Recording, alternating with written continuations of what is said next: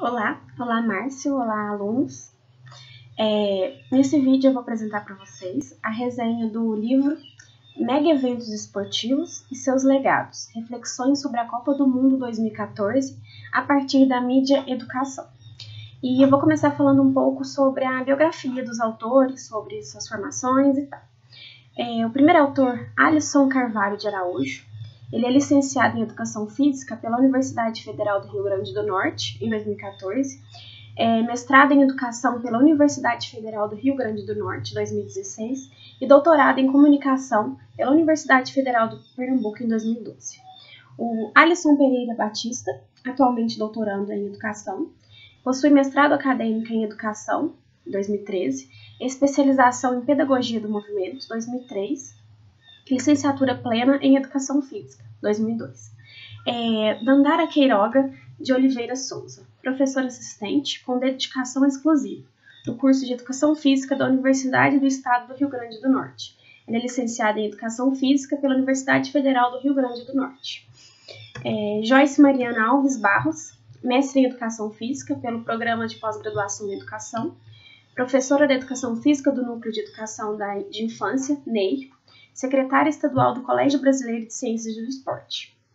É, Márcio Romeu Ribas de Oliveira, licenciado em Educação Física pela Universidade Estadual de Ponta Grossa em 1996, mestrando na área de Teoria e Prática Pedagógica no programa de pós-graduação em Educação Física na Universidade Federal de Santa Catarina.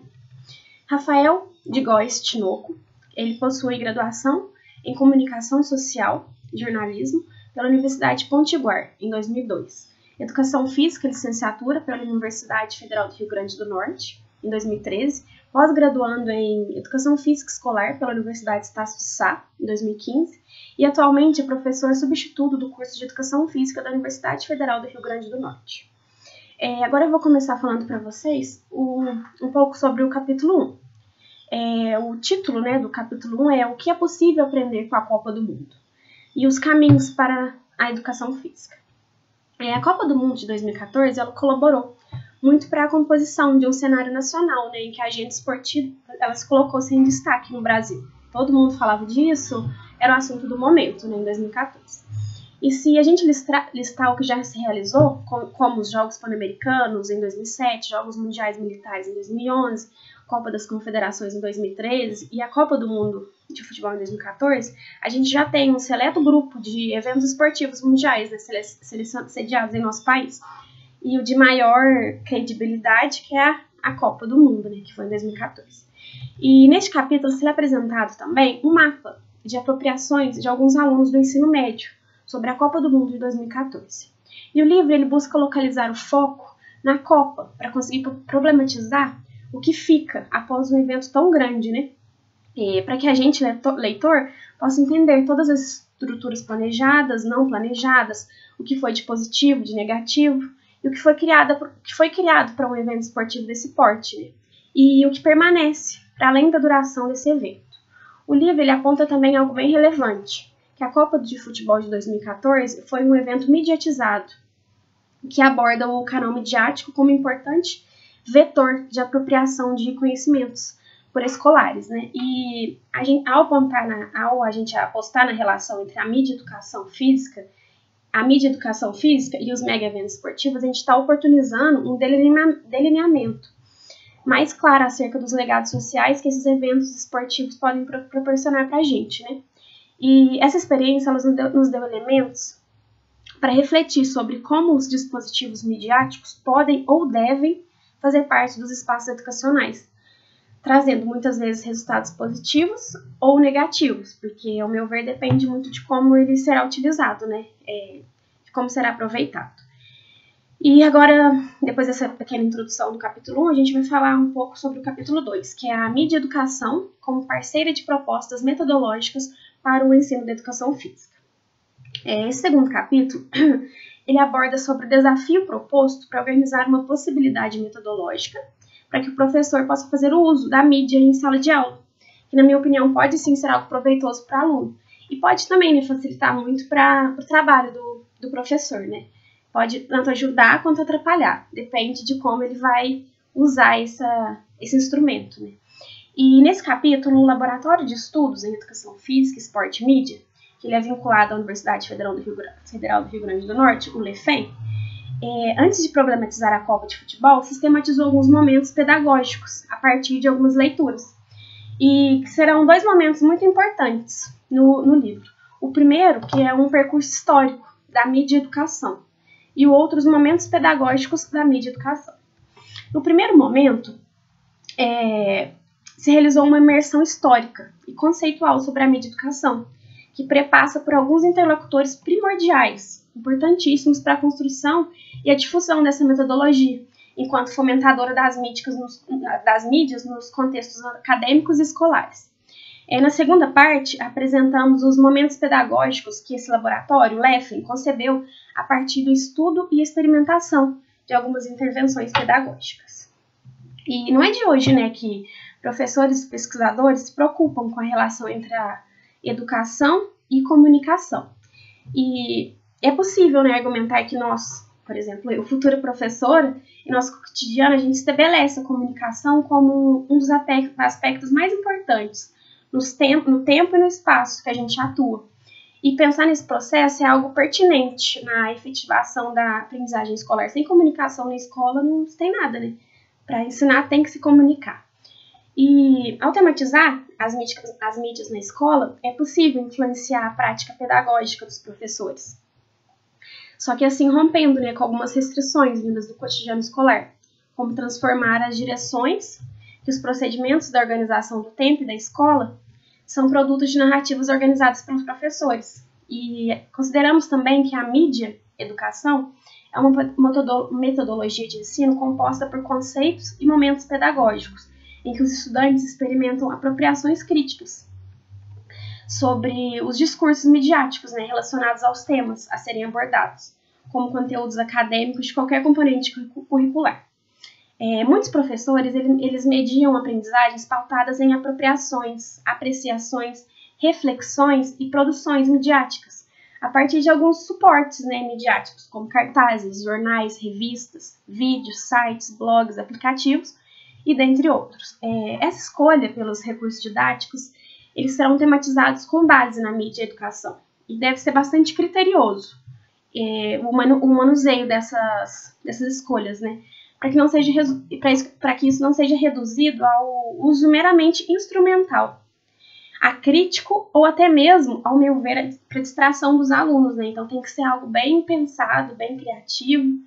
Então, pensando nisso, né, por esse motivo, os professores ou nós futuros professores, a gente tem que buscar na mídia de alguns discursos que possam ampliar os olhares e as ideias sobre o assunto, para não ficar naquela mesmice e não correr o risco do aluno se dispersar e tudo mais.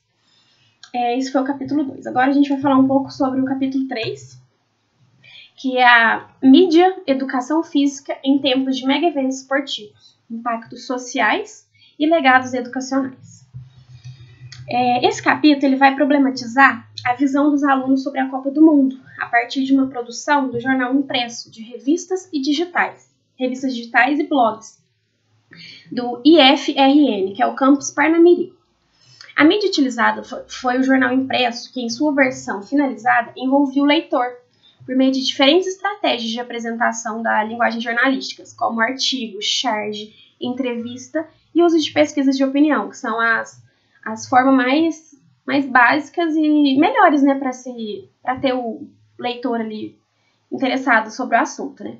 É, diante disso, foi proposto temas que organizassem didaticamente o desenvolvimento dessas produções. O primeiro desenrolou-se em futebol e drogas, que é um assunto bastante polêmico. Aliás, todos os temas são de assuntos polêmicos. É, futebol e discriminação torcida organizada. E o segundo em futebol e gênero e futebol e mercado. Eu vou, não vou citar todos, porque o vídeo já vai ficar longo, porque é bastante coisa para falar, mas eu vou citar alguns que são os mais polêmicos e fazer uma tirar uma base aqui do, do que falou, do que foi falado no livro. É, o, eu, vou, eu vou falar para vocês como foi a divisão de, do que cada aluno foi, de cada, da turma, de, de, do que cada aluno fez e a divisão da, das turmas, né? É, o campo empírico da pesquisa foi no campo Parnamirim, é, e o período de intervenção aconteceu na primeira metade de 2014, acompanhando em paralelo os efeitos da aproximação dos Jogos da Copa do Mundo. Foi bem próximo da, dos Jogos da Copa do Mundo, na, sede, na cidade sede, que foi em Natal. Participaram dessa intervenção quatro turmas do segundo ano do ensino médio, sendo elas uma turma de informática, que foi a 2B, que focou nas revistas digitais, de mecatrônica 2A, que foi responsável pelos blogs, de informática 2A, que trabalhou com os aplicativos, e a de mecatrônica 2B, que, que produziu vídeos.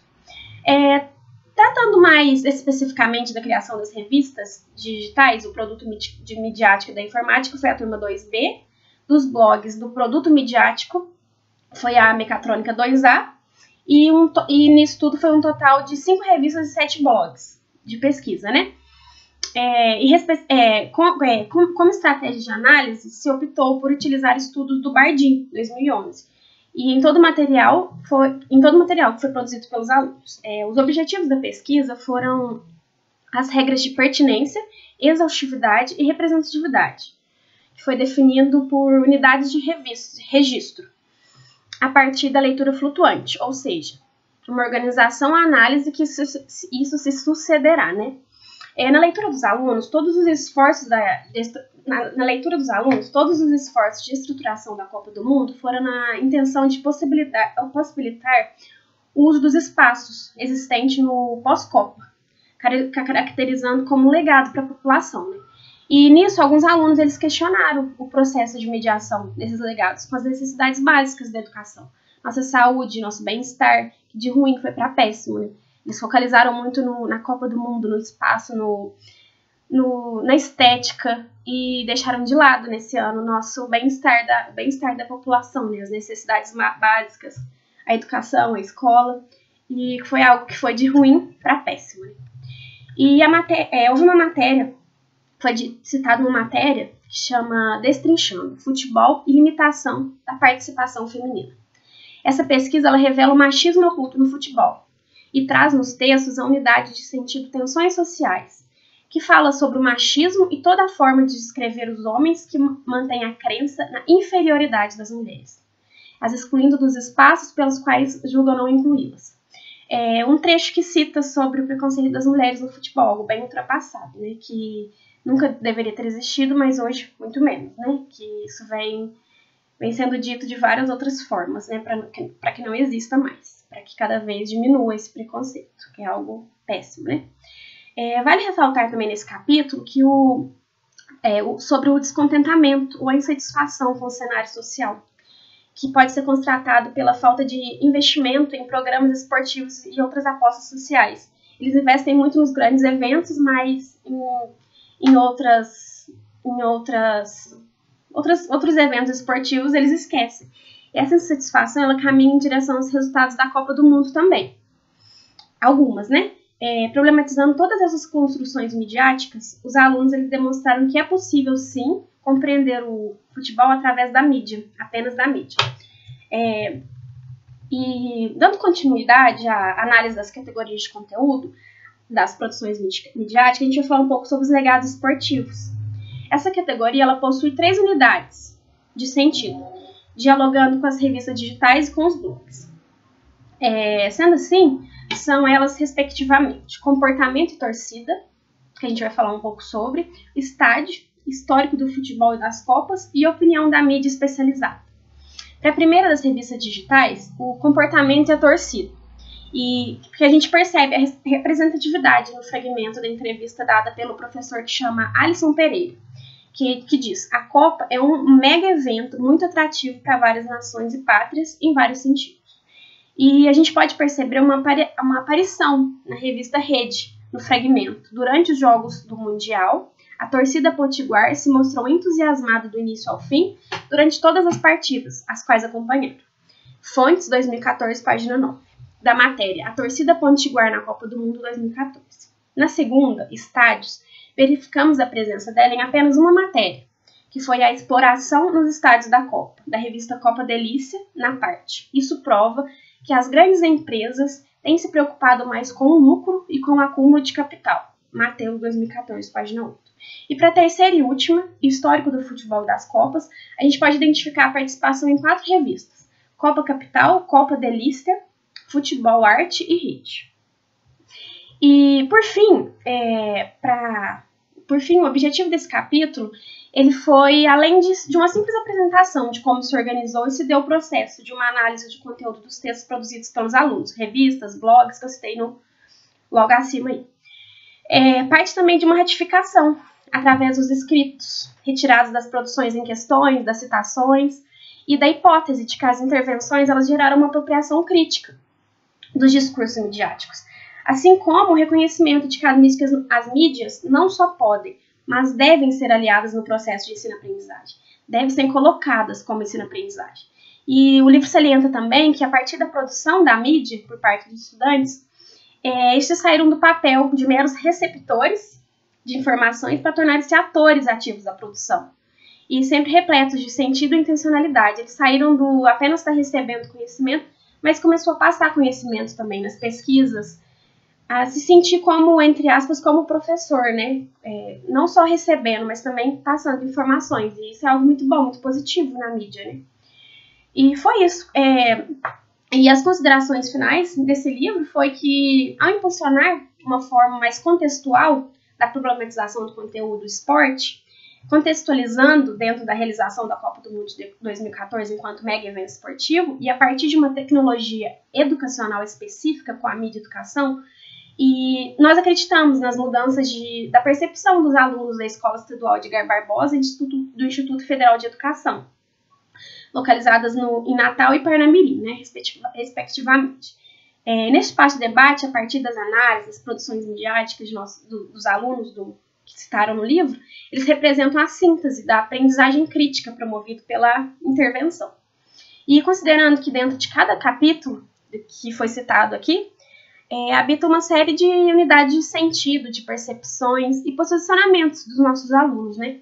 E a gente afirma, a gente pode afirmar o papel educativo como aquele, provoca, como aquele provocador e que promove o aluno uma postura frente à vida. É o que eu citei ali acima, né? O aluno passa de não só receptor, mas também ele passa o conhecimento para outros alunos, até, até mesmo para os professores, né?